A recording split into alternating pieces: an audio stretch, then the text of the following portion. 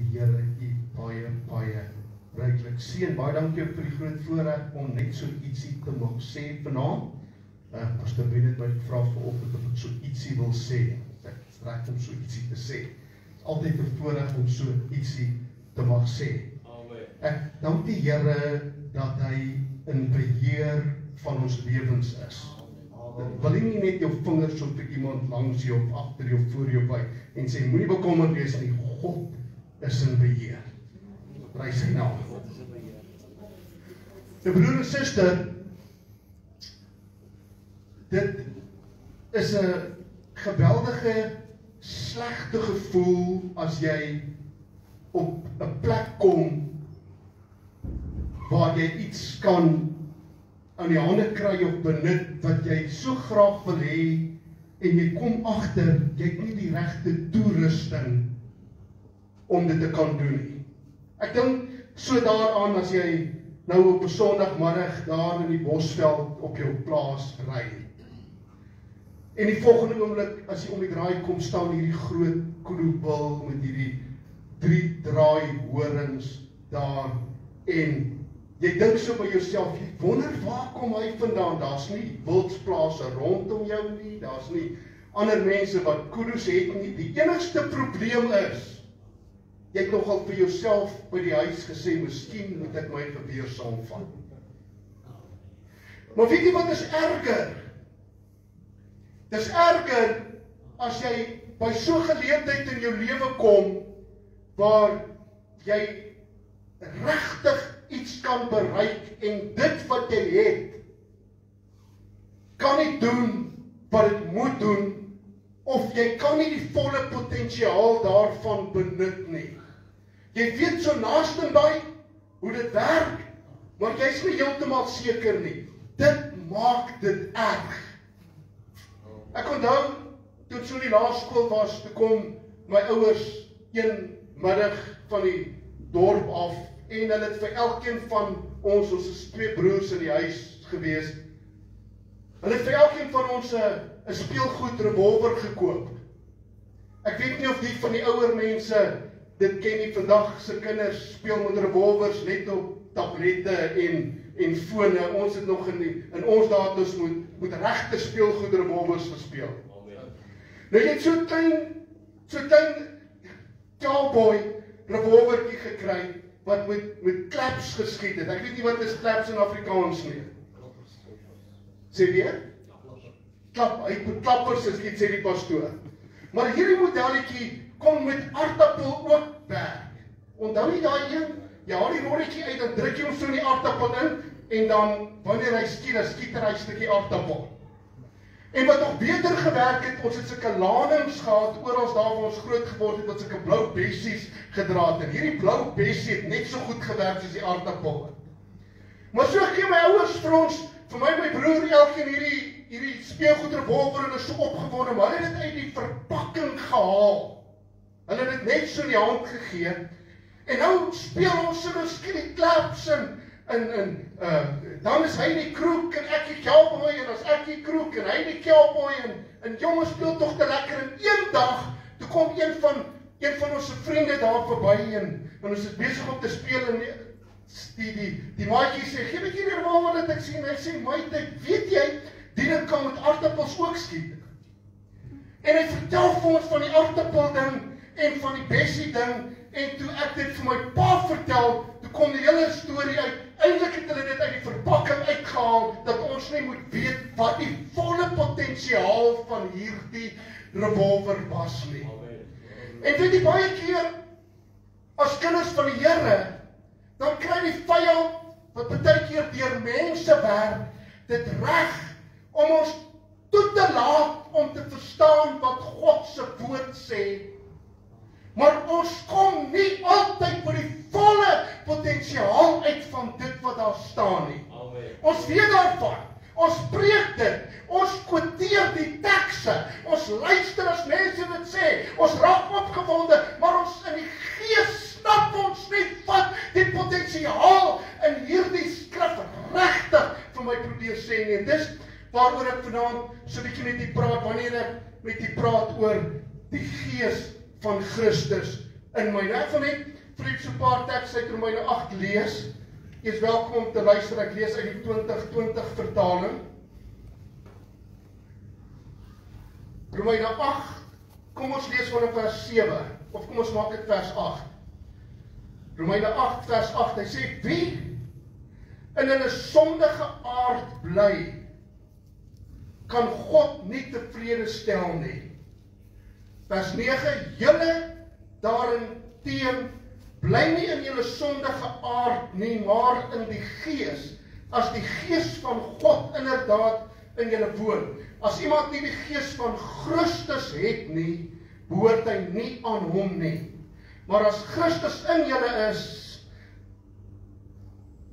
is die liggaam as gevolg van sonde wel dood, daarenteen op grond van die regverdiging is die gees lewe. As die gees van hom wat Jesus uit die dood uit opgewek het in julle woon, sal hy wat Christus uit die dood uit opgewek het, ook julle sterflike liggame lewend maak deur sy gees wat in julle woon. Amen. Goed. Nou hoor nou mooi wat sê God se woord in die gedeelte wat ek vir u gelees het, praat hy van van julle wat in die gees is. Dan praat hy van die gees van Christus. Dan praat hy van die gees wat van God wat hom wat Jesus uit die dood uit opgewek het so opgewek het. So in hierdie selfde gedeelte praat hy 'n paar keer van gees. Gees van God, julle wat in die gees lewe, die gees van Christus en die gees van hom wat Jesus uit die dood uit opgewek het. Ek wil net so ietsie met u deel en ek wil met u praat oor die gees van Christus in my. Amen. Want hierdie tema is soos hierdie speelgoed revolver van my gewees voordat die seentjie wat verbygekom het vir my die volle potensiaal daarvan geopenbaar het. Ek het nie geweet heeltemal hoe dit werk nie. Ek het nie geweet wat regtig daarmee gedoen kan word nie totdat hy dit vir my gesê het en ek het probeer dit toets en dit werk. Nou, ek gaan heel eers net so 'n bietjie vir u verduidelik hoe die godheid werk. Dan gaan ek in die tweede plek vir u verduidelik hoe dit gewerk het in die Ou Testament. En dan gaan ek vir u verduidelik hoe werk dit in die Nuwe Testament en vandag. Goed. Nou, baie mense verstaan nie die gedagte van die drie eenheid van God nie. Hulle kan nie verstaan hoe dat God drie kan wees en terselfdertyd ook net een nie. Nou, as ek dit vir u kan verduidelik en ek mag ek van 'n hoendereier gebruik maak. Kan ek? Julle nie van 'n hoender hou nie, sal ek 'n volstruiseier gebruik. Is dit reg? Die samestelling van die eier werk so. Jy het 'n dop wat beteken dat jy dit mooi moet vervoer want as dit breek dan kom die geel wat aan die binnekant is en die wit wat aan die binnekant is gaan uitloop. Goed. As ek by die restaurant sit en hulle vra vir my wat ek wil eet vir ontbyt en ek bestel twee gebakte eiers sunny side up. Dan bring hulle vir my iets op my bord wat bestaan uit die geel en die wit van die eier. Daar's nie 'n dop by nie. Maar dit is nog steeds 'n eier. Maak dit sin? As ma en sussie skuimpies maak vir hulle entrepreneursdag by die skool, dan skei hulle die wit van die geel. En as ma vir sussie sê, "Gee vir my asseblief die eier aan." Dan gee sy nie 'n ding aan wat in 'n dop is nie. Sy gee ook nie 'n ding aan wat geel by het nie. Sy gee net die wit van die eier aan. Maak dit sin? Ja. As vrou nie my spaar toe stuur en sy sê gaan koop asseblief vir ons 'n dosyn eiers. Ek gaan vir ons pannekoek bak vanaand want dit is koud. En ek kom by die winkel dan vat ek nie 12 eiers en ek breek almal van hulle oop en ek gooi dit uit om dit te vat nie. Ek koop dit in 'n houer, elkeen in sy dop. En so werk die drie eenheid van God ook. Die die woord drie eenheid kom nie regtig in die Bybel voor nie. In die Bybel word dit gebruik as Godheid. Die Godheid bestaan uit 'n Vader, 'n Seun en 'n Heilige Gees. Maar die drie is een. God hou alles bymekaar. Hy is die skepper. Hy's van van van ewigheid tot ewigheid. Hy's God. Hy hy hy is die hoof van die Godheid. Jesus is die seun. Maar hy's ook deel van die Godheid. Want soos die geel فبأي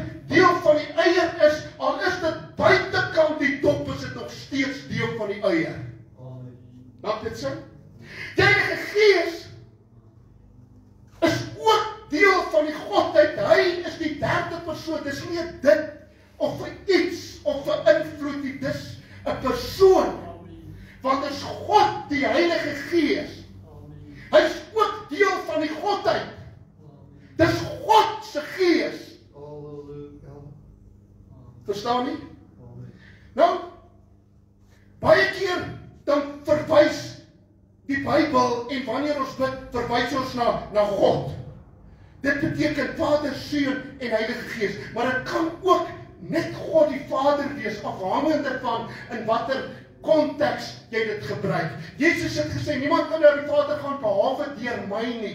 Alles wat jy in my naam vra, sal jy kry as jy glo. Amen. Nou sê Jesus, hy sê ek gaan vir julle die Heilige Gees stuur in sy laaste onderwys in Johannes uh, 13, 14, 15, 16. Hy sê as ek hemel toe gaan of as ek na my Vader toe gaan, dan stuur ek die Heilige Gees, die Trooster. Hy sal nie van homself spreek nie, hy sal van my spreek en julle herinner alles wat ek gesê het en hy sal julle die volle waarheid lei. Amen. Want is God die Heilige Gees. Amen. Wat hy bid in Johannes 17, toe sê hy die Vader en ek kom by julle woning maak. Verstaan nie? So God woon in sy volheid in my. Maar as Vader, Seun en Heilige Gees, alhoewel hulle drie is, is hulle ook een. Amen. Paulus skryf aan die Kolossense Kolossense 1 um, vers 19 en Kolossense 2 vers 9. Hy sê dit het God behaag dat in Christus, onthou Christus is die Seun. In Christus sal die volheid van die godheid liggaamlik woon.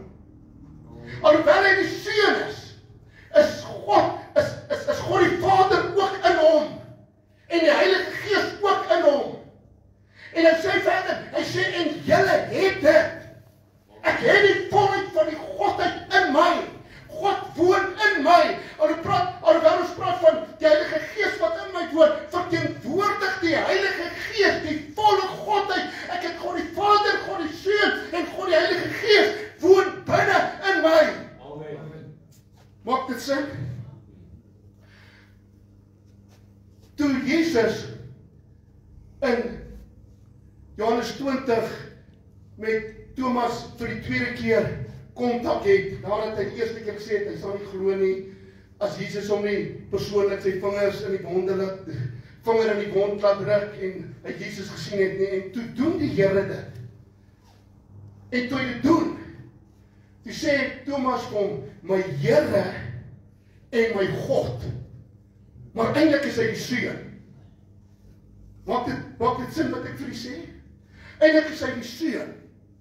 Dit die seun is verteenwoordigheid verteenwoordigheid van die Godheid. So ook die Heilige Gees. Jy sien die skrif sê Johannes 4 23 24 God is gees en nie wat om aanbid moet om 'n gees van waarheid aanbid. So God kan nie gesien word nie. Amen. Jesus is die liggaamlike verteenwoordiger van die Godheid. En die hele Godheid woon binne u en in my. 1/3 van my bestaan uit gees, siel en liggaam. 1/3 van my is die gees en daardie gees huisves die volheid van die godheid met al sy volheid en al sy kwaliteite en al sy krag en al sy gawes en al sy vrug is alles binne in my. En dis die Heilige Gees, God se Gees Die gees van Christus, die gees van geloof, die gees van wysheid, die gees van kennis. Enige plek waar die Heilige Gees aangekoppel is verteenwoordig dit die of verteenwoordig hy die Here Godheid. En daardie Godheid woon binne in my. Wat maak dit sin wat ek vir u vertel? Nou die Ou Testament was die Heilige Gees nie inwonend nie, want die mense kon nie wedergebore word nie. Want Christus het nog nie gesterwe nie. Hy was die volmaakte offer en hy moes sterwe. Toe hy sterwe, toe maak dit vir ons dit moontlik om ook geestelik te sterwe sodat hy in ons in sy gees kan kom lewe. Die gees van Christus binne in my. So die Ou Testament was die Heilige Gees nie inwonend nie. Hy het van tyd tot tyd op profete en op manne en vroue gekom. Dis hoekom jy soveel keer in die boek Rigters sal lees en die gees van die Here het vaardig geword oor Samson en dat hy hierdie geweldige krag gehad om om om om bonatuurlike dinge te doen. En die gees van die Here het oor hierdie rigting gekom en hy het die bassein gevat en dit geblaas. Maar wanneer hy klaar was met dit wat hy moes doen, dan het die Heilige Gees onttrek. Want dit was hy was nie inwonend nie. Dis hoekom Dawid in Psalm 51 bid en sê Here, neem tog nooit u gees van my weg nie. Jy hoor so baie keer vandag in 'n Nuwe Testamentiese bedeling dat wedergebore kinders van die Here bid, neem nie die gees van my weg nie. God kan sy gees nie van my wegneem nie. Wat ek lewe nie meer nie. Ek se nuwe skepsel. Hy woon binne in my. Ek kan by hom net rond waar ek beweeg elke dag. Hy kan hom nie wegvat nie tensy ek besluit ek nie in my lewe meer wil hê nie. Hoorie wat ek sê, hy sal hy sal hom nooit wegvat nie. Hy kan nie. Want hy's deel van my en ek is deel van hom. Pastor Ben het nou een bid hier al keer gepraat oor die wynstok en die lote. Ek is in hom ingeënt. Daar's nie 'n manier dat hy my net kan een kant toe skuif nie. Hy sal dit nooit doen nie. Ek is in hom ingeënt. Ek is ek is die Engelse uh, amplified Bible sê aan aan um vitally united with him. Ek is in hom en sy woorde is in my. Wanneer die Heilige Gees dan van tyd tot tyd vaardig geword het, dit was gewone manne. Hulle was vol foute. Ek kan net dink aan Samson. Hy het onder andere 'n groot liefde vir partytjies en dames gehad. Ek kan dink aan ander wat baie negatief was. Ek kan baie van die profete was nie regtig die ideale godsmanne wat jy sou op sy CV oor iets wou sit nie. Maar wanneer die gees van die Here oor hom gekom het omdat hy gewillig en bereidbaar en bereidwillig was, kon God hom gebruik. En wanneer die Here hom klaar gebruik het en sy gees van hom onttrek en en en hy het gelewe soos enige ander persoon en wanneer God hom dan weer wou gebruik dan kom en dan sê hy die gees van die Here het tot so en so gekom en hy het gesê gaan sê vir so en so en dan doen hy dit. Goed, dis hoe dit gewerk het in die Ou Testament. In die Nuwe Testament wanneer ek wedergebore word dan word my lewe eers beheer sê Efesiërs 2 deur die gees wat in die kinders van ongehoorsaamheid werk. 'n Demoon wat die wêreld beheer. Maar wanneer ek by Jesus uitkom, deur geloof in dit wat hy gedoen het, dan uit genade red hy my en ek gee hom toegang tot my lewe en hy neem sy volle intrek met al sy bagasie, sy tasse, sy vrug, sy gawes, sy seën, elke belofte in sy woord, alles neem hy sy intrek in my gees en hy word die nuwe inwoner van my lewe en van nou af leef ek nie meer nie, maar Christus leef binne in my en hoe meer ek die pad met hom loop, hoe meer neem hy beheer van hierdie stuurkantheid van my lewe oor. Amen. Ou Testament het Elia die Here met hom gepraat, dan stop hy, dan klim God in die stuurkantheid van sy lewe in en dan bestuur die Here verder.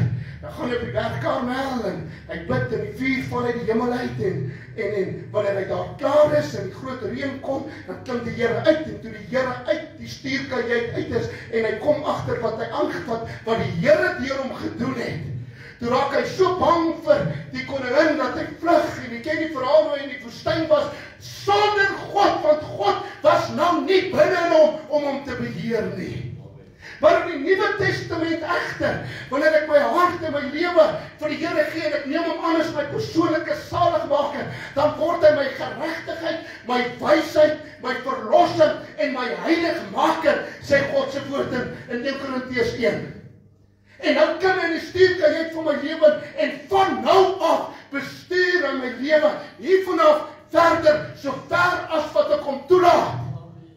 As ek self die stuur in sy hand vat, dan gaan ek op 'n verkeerde pad beland, maar solank ek hom los, kom ek by die plekke uit waar ek voor die grondlegging van die aarde vir my uitgewerk het, Efesiërs 2:10, want ek is sy maaksel, hy het 'n plan voor die grondlegging van die aarde alreeds vir my gehad. Solank ek hom toelaat, stem jy saam met my?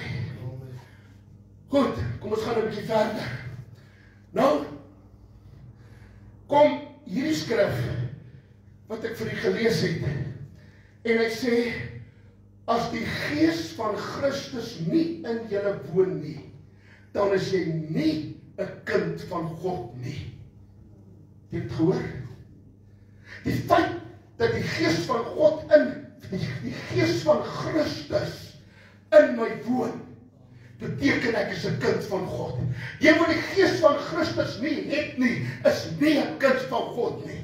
Dis hoekom dit so noodsaaklik is dat jy wedergebore moet word sodat Christus in jou kom woon, die gees van Christus. Ek gee nie om hoe goed jy groot geword het nie. Ek gee nie om hoe baie jy kerk toe gaan nie. Ek gee nie om met wat se goeie agtergrond jy kom nie. Ek gee nie om hoe goed jy die Bybel ken nie. Ek gee nie om wie jy ken nie. Ek gee nie of jy met engele praat of gesigte van die hemel het nie. As jy nie wedergebore is, sal jy die koninkryk van God nie ingaan nie. En jy's nie 'n kind van die Here nie as die gees van Christus in jou woon nie. Skies, wat is die waarheid? Daar's net twee weë. Die een is die smal weg en die ander is die breë weg. Verstaan jy? Daar's net een manier. Dis Christus is die deur, die weg, die waarheid, die opstanding en die lewe. Das Christus is die enigste manier. Daar's nie nog 'n middelaar nie. Net Jesus Christus. Is die enigste manier. So binne my, wie van julle is wedergebore vanaand hier? Steek net die hand op. Is jy heeltemal seker as so een en ander wat nie seker is nie? Dis hoekom ek met julle wil praat vanaand om die sekerheid te kry. Want jy staan ook met 'n met 'n met 'n speelgoedrevolver in jou hand en jy weet nie hoe hy werk nie. Jy's waarskynlik besig om die pypgedeelte na jou toe te wys. Die loop. Hy sê as ek die gees van Christus het, is ek 'n kind van God. Almal wat hom aangeneem het Johannes 1:12, al hulle het in die wag gegee om kinders van God te word. Die wat wedergebore is, is kinders van die Here en hulle het die gees van Christus, die gees van Christus in hulle. Ek praat met u oor die gees van Christus in my. Goed. Maar nou sê 1 Petrus 1 vers 19 praat die apostel Paulus en of liewer die apostel Petrus, ekskuus. Die apostel Petrus skryf in Petrus 1:19.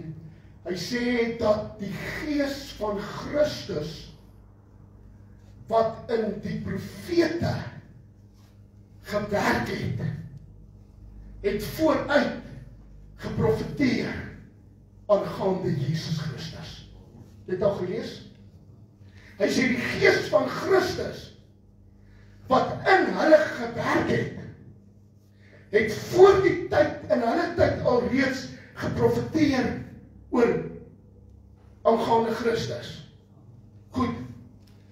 Nou sê die skrif vir my in dit is 1 Konings 13 liewe 2 Konings 13 vers 25 2 Korintiërs 13 vers 25. Kyk net gou iemand wat 'n Bybel het. 2 Korintiërs 13 vers 25. Hy praat daar oor Elie, oor Elisa wat gesterf het. En toe sy begrawe. Ek neem aan dit moes daar in 'n grot of een of ander ekskavasie gewees het wat hulle daardie tyd vir grafte gebruik het. Dit is die regte teks 1 2 Konings um 13 vers 25. Dit reg. Elisa gesterwe vers 24 en in vers 25 is reg. Nie probeer een konings. Skus dit moet nou skielik ontgaan ek het nie wat as omgebring nie. 1 Konings 13 vers 25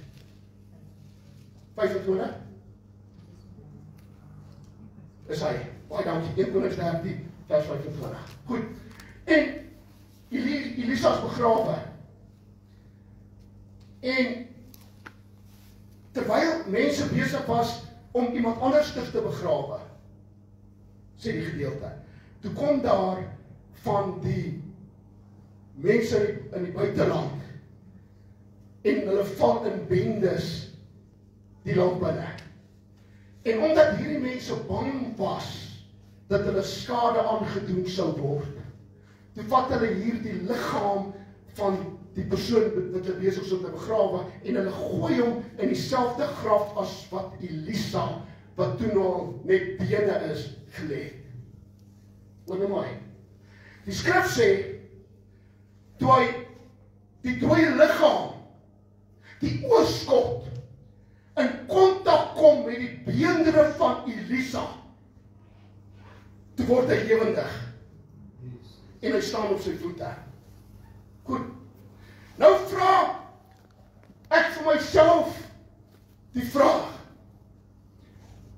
As Elisa in 'n Ou Testamentiese bedeling waar die Here hom van tyd tot gebruik het en oorvaardig geword het. Sy bene soveel krag gehad het as gevolg van die gees van Christus volgens 1 Petrus 1:19 wat in hom gewerk het. Hoeveel krag moet een ek vanaand as 'n wedergebore kind van God hê. Met dieselfde gees van Christus wat permanent van dag tot dag elke oomblik in my gees woon. Verstaan jy die punt wat ek probeer maak? Kan jy nou verstaan dat die apostels van hulle klere wat om hulle lyf was op siekes gelê en dan het hulle gesond geword van die gees van Christus wat binne in hulle was? Het met die aanraking van die klere soveel krag gedeponeer in die materiaal dat dit geneesingskragtig was. Wat as 'n Ou Testamentiese profeet se bene opwekkingskrag gehad het. Hoeveel te meer vanaand moet die gees van Christus wat in my woon nie uitnemende krag hê. Ek probeer vir jou sê dit wat in u is is meer as wat benut te word as wat ons dit doen. Verstaan jy wat ek vir u probeer sê? Ek kyk in die Ou Testament na die profete. Die gees van Christus was in hulle. In Elia, in Elisa, in Sagaria, in Moses. Noem hulle op. Hy was in hierdie profete en hy het deur hulle gewerk van tyd tot tyd wanneer hy 'n tydelike gebruik van hulle gemaak het.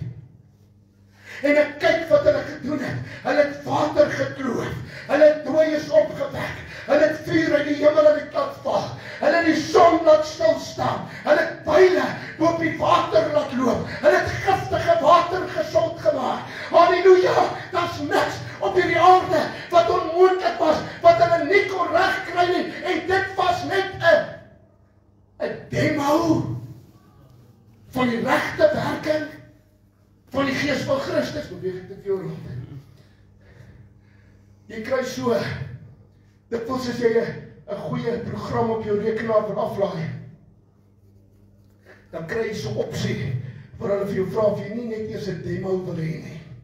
'n Demo is so baie verkorte ene wat net 'n paar van die basiese funksie van die regte program demonstreer. En dan kyk jy na hierdie demo en as jy dan sien dit lyk goed, dan dan dan kontak jy hulle dan stuur hulle vir jou die volledige program. Gewoonlik is die demo gratis en die volledige program moet jy aankoop. Die Ou Testamentiese bedeling van die Gees van Christus wat gewerk het in die Ou Testamentiese godsmanne was net 'n demo van 'n beter program wat in die Nuwe Testamentiese bedeling sou kom. Die Gees van Christus wat in u en in my woon omdat ons kinders van God is as gevolg van die wedergeboorte om aangeneem het. Halleluja. Dit woord binne u, dit woord binne my. Dit's net wat onmoontlik is nie, want die Gees van Christus is in my. Dit is merkwaardig nie apostel Paulus skryf. Filippense 1:19. En hy sê vir die mense, hy praat oor sy omstandighede wat vir my voorkom asof dit bietjie moeilik was. Hy sê maar hele gebede en die gees van Christus binne in my sal my deurdra. Halleluja. Halleluja. Besef jy, besef ek wat en wie binne in my is. Ons is nie boemelaars, geestelike boemelaars wat moet swat en smeek nie binne in my is die krag reeds ingeplant. Halleluja. Halleluja. Dis nie my krag nie, dis die krag van die wynstok. Dis nie my goeie dade nie. Nee, hy is die een wat die werk doen. Ek vervoer hom net tot op die toneel en hy is die dokter wat die genesing doen. Dis hy wat die werk doen. Geen godsman op hierdie aarde het nog ooit iemand gesond gemaak nie. Al wat hy reg kon kry is om Jesus toe te laat om deur hom die werk te doen. Jesus bid in Johannes 17 en hy sê: "Soos Vader, soos wat U my gestuur het, stuur ek hulle." God die Vader het Jesus gestuur. Hy het hom gesalf. Sê Handelinge 10 vers 38 en hy het die land deurgegaan met krag en hy het almal genees wat onder die mag van die duiwel was en goed gedoen aan mense. Hy het die salwing gehad. God het hom gestuur. Hy was met krag aangedoen. Nou kom die Here Jesus en hy stuur ons met dieselfde gees as wat in hom was want hy sê in die teksgedeelte as die gees van hom wat Jesus uit die dood het opgewek het in julle woon sal hy ook julle sterflike liggame lewendig maak. Want in Christus is lewe. In God is lewe. Die Heilige Gees bring lewe.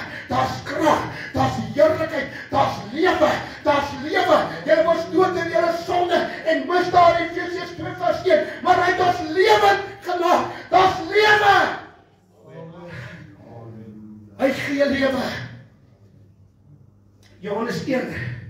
Die apostel Johannes sê in die begin was die woord en die woord was by God. Hy was in die begin by God.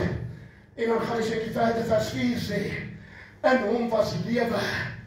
En dan sê hy in die Amplified Bybel, hy sê in hom was lewe en hy het lewe gegee. En die lewe was die lig van die mense. En nou woon hy binne in my binne in my is lewe wat in hom is lewe wat hy is die opstanding en die lewe. Hy's die weg die waarheid en die lewe. En ek kan lewe gee want hy's in my. En ek het sy lewe binne in my. Ek lewe nie vir die wêreld nie. Ek lewe nou vir die Here want hy lewe deur my. Wat dit sê wat ek vir u sê Hoor mooi. Siekte is dood. Hoor wat ek sê. Siekte is dood. Dit beteken daar's enige siekte, daar's selle in jou liggaam wat besig is om negatief en dood te raak. Sonde is dood. Probleme bring dood. Maar nou kom ek vanaand en ek sê die gees van Christus wat in my lewe en deur my lewe ek spreek lewe vanaand oor die dood in siektes in liggame. Ek spreek lewe oor die dood van probleme. Ek spreek lewe ek spreek lewe ek spreek lewe in jou gees. Ek spreek lewe ek bestraf jou depressie. Ek spreek lewe ek bestraf jou siekte ek spreek lewe jy sal van vanaand af gesond wees want Jesus gee lewe Hy is lewe en hy woon binne in my. Verstaan u wat u het? Verstaan u wat u is? Ons werk so hard om geloof te kry. Moenie geloof in geloof hê nie. Kry geloof in Jesus. Kry geloof in Jesus. Dis hy wat die werk doen. Ek kry hom net ek is die Cadillac wat hom rond karvy, wat hom rond vat in die land. Ek vat hom net tot daar. Hy is die gees. Ek is die liggaam. Toe hy hemel toe vaar, toe stuur hy sy gees terug. Nou het hy nie meer 'n liggaam nie. Hy's nou net 'n gees. Maar dan kom hy uit hart deur my en ek vat hom so toe. My hande word sy hande. My stem word sy stem. My voete word sy voete. Ek wanneer ek spreek, dis hoekom die skrif sê, laat dit wees soos woorde van God, die wat spreek want dis hy wat deur my spreek. Romeine, is so wonderlik jy moet Romeine 8 en Romeine 10 tog gaan lees. Hy sê naby is dit aan jou die woord van God in jou mond. God se woord is in my hart. Hy's in my mond. Hy woon binne in my en ek is in hom. Halleluja. Halleluja. Halleluja. En wanneer ek hierdie gees toelaat, die gees van Christus om deur my te werk, dan doen hy God dade. Amen. Wat hy hy doen. Wat hy graag vir mense wil doen. Die gees van Christus in my. Besef u wat u of wie u in u akkommodeer. Jy het nie nodig om te soebat en te smeek nie. Ek het baie kere gehoor dat dit mense ag, Here, gee my groter geloof. Geloof is klaar binne in jou.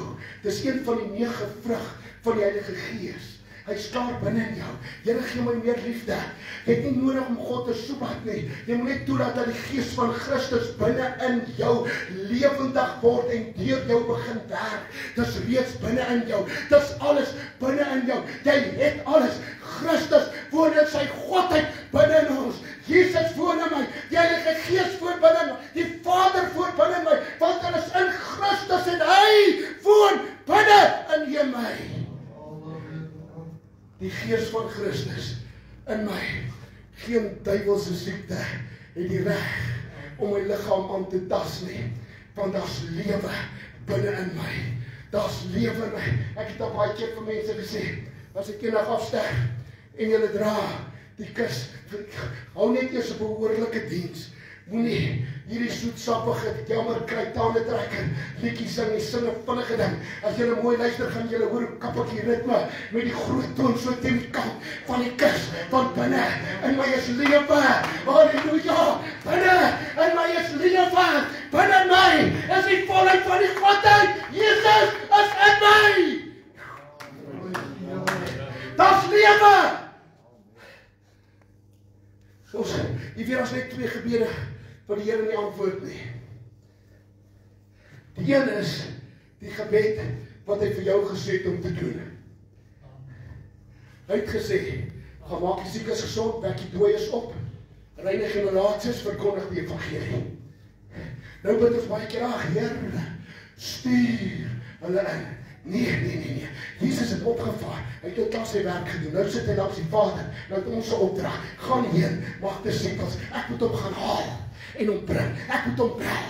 Ek moet hom WhatsApp. Ek moet met hom praat by die werk en by die skool en waar ek hom in die hande kry. Dis nie God se werk om hulle in te stuur nie. Dis my werk om die Heilige Gees of die Gees van Christus my te lei om hulle te gaan haal en hulle in te bring. Ek kan hulle nie red nie. God kan hulle red, maar dis my werk om God by hulle te kry. Amen. Steek my saam. Bid so baie. Net my vergewe. Dink ek het dalk net op 'n stadium in my lewe gekom nou dat ek begin ouer word en dan ver oor die 30's is dat ek agtergekom het baie van die goed wat ek in die kerk geleer het werk nie regtig nie. Spit. Here, oom so en so daar, sal jy hom nie asseblief daar in koek en haap aanraak want hy tot die dood toe siek nie. God het hom klaar 2000 jaar terug in Jesus aangeraak. 1 Petrus 2:24 sê, "Deur wie se bonde jy genees is." Ek moet nou vir hom koes in koek en haap sê, "God sê in Jesus naam, jy is gesond. Staan op jou bed. Kom met jou bed en kry jou kirie maak jou moer koffie." Verstaan jy wat ek sê?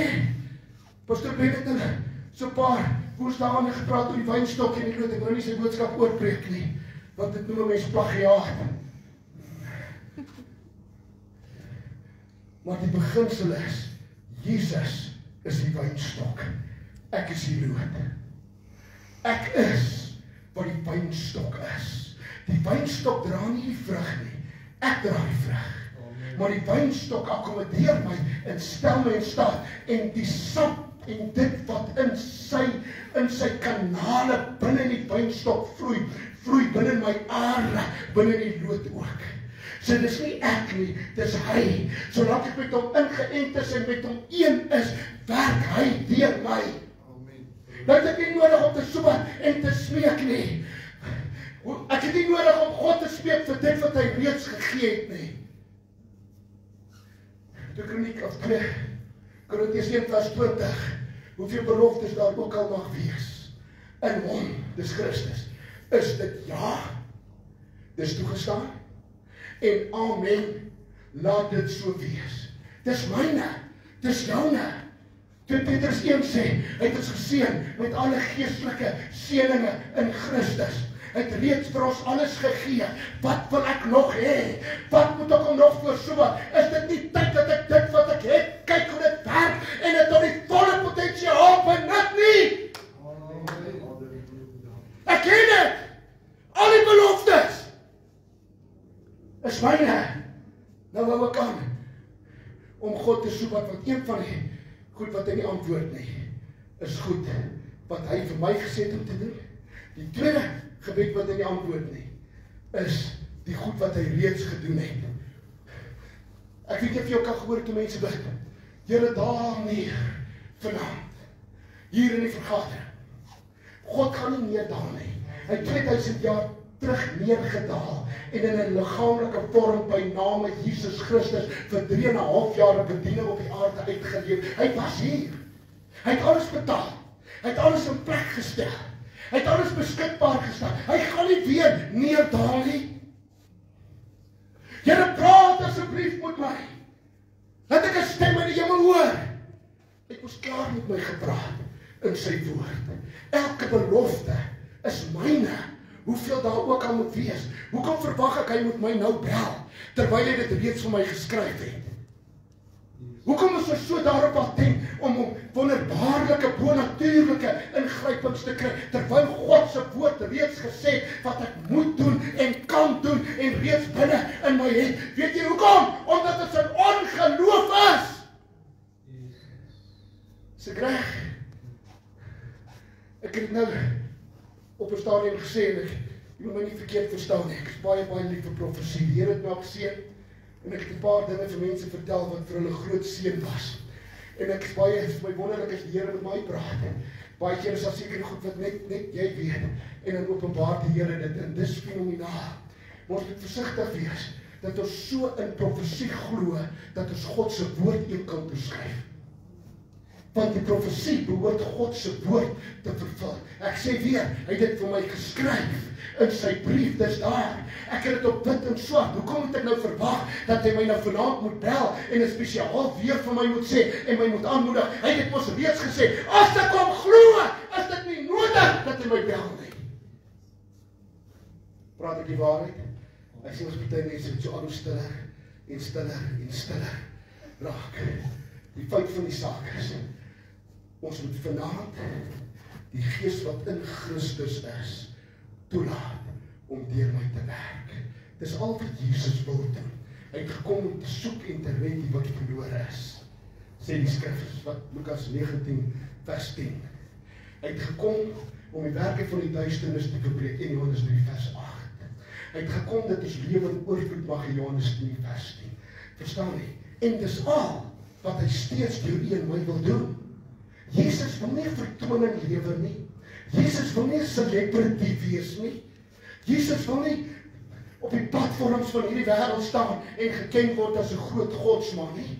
Hy het klaar gedoen wat hy moes doen. Hy het homself bewys en hy het gesterf en hy het opgestaan en die enigste manier wat ek het om vir die wêreld te bewys dat hy God is en dat hy gesterwe en dat hy weer lewe is om toe te laat dat hy deur my lewe en dieselfde dinge deur my te doen as wat hy gedoen het toe hy op aarde geleef het. Die skrif sê, Johannes 14 vers 12, die werke wat ek doen, sal julle doen en groter werke as dit omdat ek na my Vader gaan. Verstaan nie? Ons sukkel so mense te oortuig. Die Here lewe. Daar's soveel op die multimedia, soveel aanslag teen die kerk. Oor Christus, dis 'n historiese Christus en ek wil vir julle vertel, daar's net een Jesus. Hy lewe. Hy's die seun van God. Hy's die woord wat vlees geword het en hy woon binne in my. En ek gee nie om wat hulle sê nie. Hy's in staat om te verlos en vry te maak en deur my te woon, deur my te werk en in my te woon. As jy sy kind is, woon hy binne jou. En ek kan dieselfde doen as wat hy gedoen het in die evangelies. Want jy sien die boek Handelinge is eintlik die evangelie van die gelowiges. Ek weet nie of jy gesien het die boek Handelinge is nooit af afgesluit met 'n amen of 'n groet of iets nie. Die skrywers het net opgehou. Toe Paulus en Petrus en daardie godsmanne van die eerste kerk se se verhale opgehou het, moes iemand net aangehou skryf wat om by ons verhale uit te kom van dieselfde gees van Christus wat in Paulus gewerk het, woon en werk ook in my, so ook die wat in hy wat in al die apostels gewerk het woon ook in my. Stem jy dit? Glo my? Is dit die waarheid? Neem autoriteit. Die autoriteit van Christus uit gesê, my is gegee alle mag in hemel en op die aarde en hy woon binne my. Hoe gaan hy hierdie mag uitoefen? Deur my. Want hy's nou in die hemel, maar sy gees herinner my om dit wat hy gesê het. Maak dit sin? Wat ek vir sê vanaand? Wie van die voel die versom met my staan en sê Here, ek gaan dit week is in Christus. Ga ek gaan die deur oopmaak dat Jesus uit deur my werk. Wie van die staan vanaand wat wil opstaan en sê Here, ek gaan toelaat dat U deur my werk. Ek het genoeg gesit en soos 'n geestelike boemelaar gesmeek en gesoebat. God antwoord nie jou soebat en jou smeekinge nie. God antwoord jou geloof in wat hy is en wie hy is. Here, dankie dat ons vanaand by mekaar kan wees. Gees van Christus, Heilige Gees, dankie dat U in ons woon en deur ons werk. Ek dankie dat die volheid van die Godheid in ons liggaamlik aanwesig is. Ek dank U dat al die kwaliteite van God in ons is en deur ons kan werk. Ek dank U vir die heerlikheid. Ek dank U vir die salwing. Halleluja. Ek dank U dat U in hierdie plek is. Here, en in Jesus naam, maak ek nou die vensters van mense se gees oop. In Jesus naam dat die heerlikheid van die gees van Christus uit hulle kan uitskyn en daardie lewe sê die skrif wat die lig van die mense is, lewe kan gee aan hulle rondom ons wat stikken en seer is en aan onsself in Jesus naam. Dankie dat U met ons was. Hou ons onder die bloed terwyl ons uit mekaar uitgaan en word verheerlik in Jesus naam. Amen. Baie dankie vir die se plek neer.